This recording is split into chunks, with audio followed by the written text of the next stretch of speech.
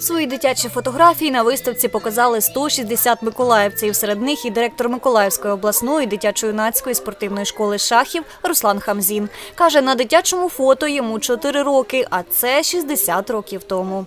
Детство это здорово. Дитинство це прекрасно. У мене так вийшло, що батьки були військовими, і мені довелось поїздити по всьому світу в багатьох республіках колишнього радянського союзу.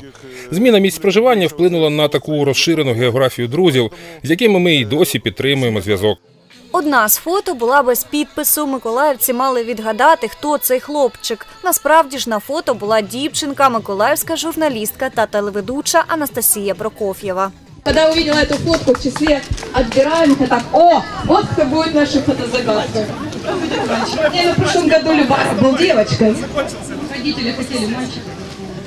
Поэтому его наряжали как могли. Адміністраторка фотовиставки Тетяна Жарінова розповідає, ініціатором фотовиставки другий рік поспіль є В'ячеслав Сімченко, бізнесмен.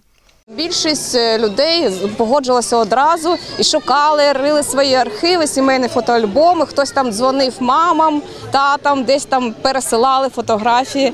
Тобто є навіть світлини, які там десь сканували в Германії і слали сюди. Перша червня це не лише свято для дітей, тому ми вирішили робити це свято для нас, для дорослих. Для дорослих встановили батут, всім охочим наносили аквагрим, з кульок облаштували фотозони. Виставка «Впадаємо в дитинство» діяла до 19-ї години.